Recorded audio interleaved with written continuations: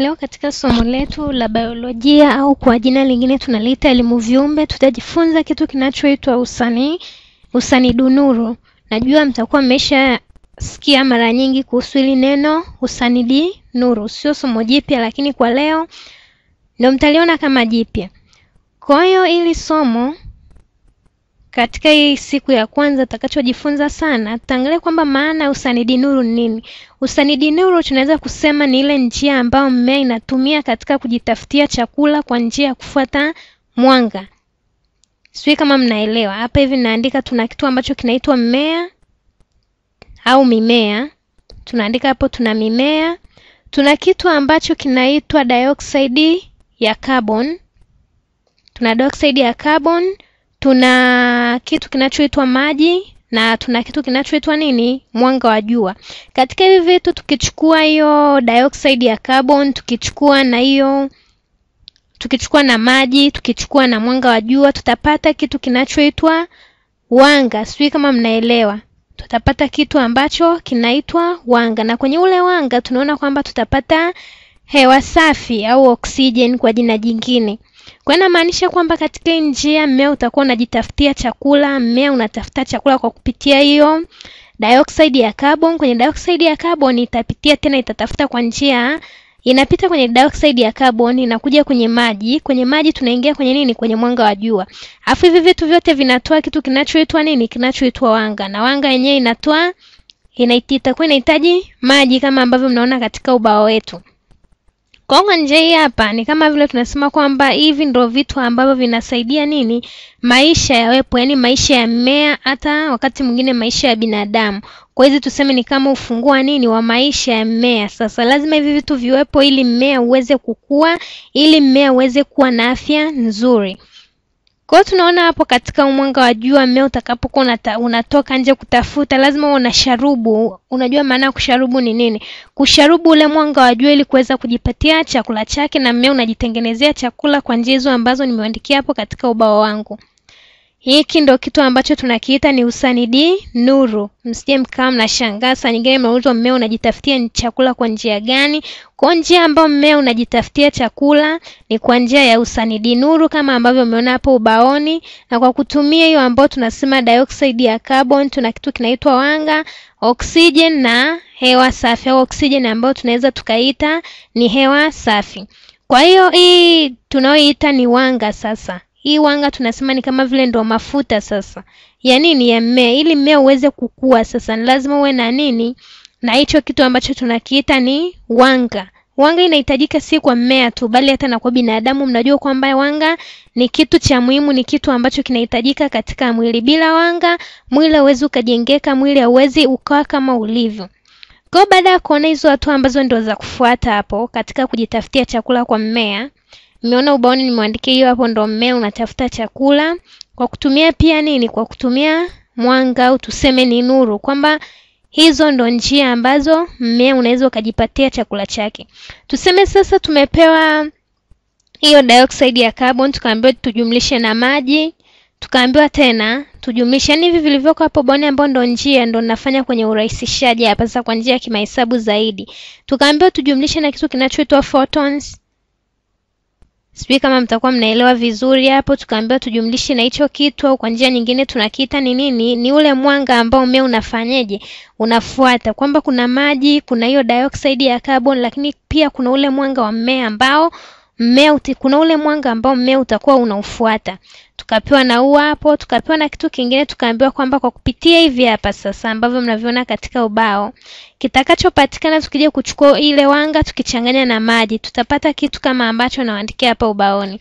Kwa hiyo tutapata kitu ambacho ni ile carbon sasa tujumlishe na nini? Carbon na maji na kitu ambacho kinaitwa tunaweka katika nje ya nini? Hiyo wanga tunaweka kwa alama ya N kama ambavyo mnaweza mkaona hapa ubaoni. Kwa hiyo inawasilishwa na alama ya N kama ambavyo mnaiona. Kwa hiyo hii ambayo nimeandika hapa kwa njia ya kimahesabu zaidi ni njia nyingine ya nini? Ni njia ile ile ambayo tumetumia ya kwanza, ambayo ndo njia ambayo mmea unajitafutia chakula, ukijumlisha pia na hewa ambayo ni nini? Oksijeni au hewa safi. Hewa safi tunaona kwamba ina nyuzi mbili Kwa hiyo hapa hivi msije mkachanganyikiwa mkasema hiki ni nini tena tunafundishwa, ni jinsi tu tumefanya hapo kimahesabu. Kwa niseme nitakuwa na wanga huku naweka wanga kwenye carbon. Naona nimeweka hapo kuna wanga. Nikirudi kwenye maji pia nitaweka wanga kama ambavyo mnaona hapa ubaoni. Nimeweka wanga kwenye carbon, nimeweka wanga kwenye maji pia. Kwa hiyo baada ya kuweka wanga kwenye carbon na kuweka wanga kwenye maji kama ambavyo mnaona, nitaweka pia wanga kwenye hewa safi au oxygen kama ambavyo mnaweza mkaona katika ubao wangu ninavyoendelea kufanya hapo. Kwa hiyo tunasema kwamba hivi baada ya hapo, hii hatua ya usanidi nuru ndo inakuwa kwa namna hiyo. Kwa ni njia nyingine au ni njia ile ile ambayo tunaifuata. Kwa baada ya kufanya hivyo, hebu tuchukulie kitu kingine sasa. Tuseme tumepewa huo usanidi nuru. Sasa tuna usanidi nuru wetu kwa usanidi nuru una njia mbili za kujitafutia chakula au njia mbili za kutumia mwanga. Kwa hiyo tuseme njia ya kwanza ambayo tunao katika usanidi nuru, njia ya kujitafutia chakula kwa mmea, tuna matokeo ya mwanga ambao haya matokeo ya mwanga kama ambavyo naweza nikaandika ubaoni kwamba mmea unategemea sana nini? Unategemea matokeo ya mwanga. Kwa ni njia mojawapo ya kujitafutia chakula, na njia nyingine, kuna njia nyingine ambayo sasa pia kuna matokeo mengine ambayo ni ya nini? Ya giza, ambayo giza sana. Kwa upande mwingine tunasema kwamba ili giza sasa, kuna mwanga na kuna giza. Kwa hiyo utafutaji wa chakula unatokea kwenye nini? Kwenye giza, japokuwa mwanga unakuwepo, lakini sana sana unatokea kwenye nini? Kwenye giza. Kwa hizi ni njia mbili ambazo tumesema kwamba mmea unaweza ukajitafutia chakula, na ambao mmea unategemea sana ni huu wa nini? Ni huu matokeo sasa ya nini? Ya mwanga. Ila hii ya upande wa giza inamaanisha kwamba haitegemei sana kwenye kwenye haya matukio ya giza, mmea utegemei sana katika kujitafutia nini? Kujitafutia chakula.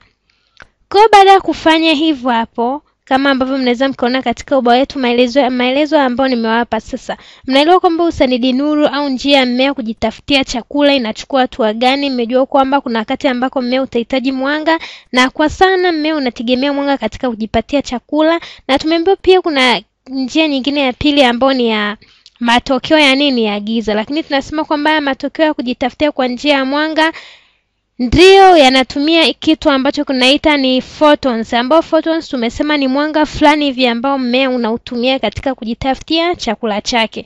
Msije mkawa mmechanganya. Kwa baada ya kufanya njia kama hizo hapo sasa, hii fotoni yetu hapa hivi inatafuta huo mwanga, na baada ya kutafuta mwanga utakuja kupata kitu ambacho ni maji sasa. Na yale maji pia mmea utatumia kitu kingine ambacho kinaitwa oksijeni au kinachoitwa hewa safi katika njia ya kujitafutia nini? Katika njia ya matokeo ya kujitafutia chakula kwa njia ya mwanga. Kwa hapa katika kujitafutia njia chakula kwa njia ya mwanga kuna kitu kinaitwa ATP. Hiki kitu ambacho kinaitwa ATP inaitwa ni ATP moja na kuna kitu kingine ambacho kinaitwa ni NDPH ambacho pia huu mmea baada ya kujitafutia itatokea matokeo ya kujitafutia chakula kwa njia ya mwanga. Yatazalisha kitu ambacho kinaitwa ATP na NDPH ambazo hizi hapa ni matokeo yale kwamba ikishajitafutia chakula kwa hiyo njia ya mwanga, matokeo ambayo yatatokea baada ya hiyo hatua kufuatwa hapo, vitatokea vitu ambavyo ndo kama vinavyoitwa ATP na NADPH. Katika somo lifuatalo tutajifunza hivi vitu kwa undani zaidi ili muweze kuvijua. Na pia tukirudi huku katika njia ya kujitafutia chakula kwa njia ya giza ambayo tumesema kwamba inaweza pia inatumia giza. Tumeona kwamba hii hapa ni kitu ambacho tunakiita kwamba mmea utegemei sana. Kwa hiyo tuseme hapa sasa kuna kitu ambacho ni kama mafuta fulani hivi kwa mmea hii ATP na NADPH ambayo inatumia kitu ambacho kinaitwa mbolea au phosphorus. Mlishasikia kitu ambacho ni kama mbolea, mbolea ambayo ndo mafuta ya nini? Mafuta ya mmea, kama ambavyo mnaweza mkajua, tunaweza tukaita hivyo kwa njia ya kibiolojia au kwa njia ya elimu ya viumbe tunaita kwamba ni mafuta kwa ule mmea. Nisiwapeleke haraka. Kwa mnaona hiki kitu hapa ambacho tunasema kwamba ni mbolea, hiyo H inasimama kwa kitu ambacho kinaitwa phosphorus au mbolea ambayo ni chumvi asili inayokuwepo katika nini? Katika kusaidia mmea kukua. Kwa hiyo tunaona hiyo hapo kwa jina lake ndio hilo ambalo naliandika kwa kirefu hapo ubaoni kama ambavyo mnaweza mkaona. Kwa sasa hiyo hapo tunasema kama ni kawakala sasa kakusaidia ule mmea kufanyaje kukua. Kwa hiyo mnajua nyewe kabisa katika mmea bila mbolea mmea huwezi ukakua. Unaweza ukadumaa, unaweza ukawa namna ya ajabu ajabu umepauka pauka njano njano, lakini ili mmea ukue uweze kuwa na rangi ya kijani kizuri ni lazima uwe na mbolea ya kutosha, ambayo mbolea ndio nimewaambia ni mbolea au chumvi chumvi ile ya nini, chumvi chumvi ya asidi ambayo inahitajika kusaidia ule mmea kukua. Kwa hiyo ndio hiyo ambayo tumesema katika mwanga au matokeo ya mwanga, mmea utakuwa unatafuta chakula kwa njia hizo hapo, na tukasema kwamba itatumia hewa, itatumia maji na itatumia hizo photons ambazo nimewambia hapo ubaoni ili kuweza kukua kwa huu mmea sasa. Kwa hapa katika kujitafutia sasa, baada ya kuja kuchukua hii ambayo ni nini, ni ya giza, tuna kitu ambacho kinaitwa Calvin, mduara wa nini, Calvin. Mtajifunza kwa undani zaidi. Kwa sasa hivi mnaweza mkawa mnashangaa, ni maneno ya kibiolojia yanaweza yakaonekana magumu, ambao kwenye hii huu mduara wa Calvin katika mzunguko ule wa mmea kujitafutia chakula. Sasa tuangalie kwamba huu mduara utazalisha kitu kinachoitwa kinachoitwa pigal na kitu kinachoitwa GSP, kondo ambavyo vitazalishwa na nini na hii Calvin huu mduara wa Calvin ambayo ni maneno ya kibiolojia ambayo tunayaandika ubaoni, lakini kulingana na jinsi ambavyo mtajifunza hapa, na nyinyi mtakuja kuwa na biolojia tu wazuri, mtajua jinsi ya kutumia maneno na jinsi ya kuyapangilia. Kwa baada ya hapo, tunaona kwamba mmea kwa hiyo njia hapo utakuwa umeweza kujitafutia nini, kujitafutia chakula chake kwa ajili ya uhai wa huo mmea. Nisini kawachanganye sana tuendelee kuangalia sasa hapa katika ubao wetu. Kwa hiyo tunaona kwamba hizo carbon sasa zitakuwa ni tatu. Hapa katika sehemu ya kujitafutia nini, kuna phosphorus ambayo phosphorus itatengeneza carbon tatu, ambazo carbon tatu ni hizo si tatu ambazo mnaziona nimeziandika wapi? Nimeziandika katika ubao, msije mkawa mnachanganyikiwa kama mnasema kwamba hivi ni vitu gani, mbona mwalimu anatuandikia si sita tu ubaoni ambazo hazieleweki. Kwa hiyo ni njia nyingine mojawapo ambayo tumesema kwamba ile phosphorus ile mbolea sasa itakuwa inahitaji carbon na carbon ambazo zitakuwa zinahitajika ni tatu, kama vile ambavyo nimekwisha kuwachorea hapo ubaoni au kuandikia ubaoni. Kwa hiyo sasa tuangalie kwamba huu mmea na tumeshajua jinsi ya usaniduru, usaniduru au usani nuru, usanididu nuru wa mmea sasa, jinsi ya mmea kujitafutia chakula. Tumeshajua kwamba utakuwa unafuata hatua gani na vitu gani ambavyo ndio vinahitajika. Nimejifunza maneno mengi ya kibiolojia hapa ambayo yanahitajika katika kutumika kwa mmea huu kujipatia chakula, na tukasema kwamba mmea utahitaji mwanga, na tukasema pia huu mmea utahitaji giza, ambayo giza tunaita ni nini?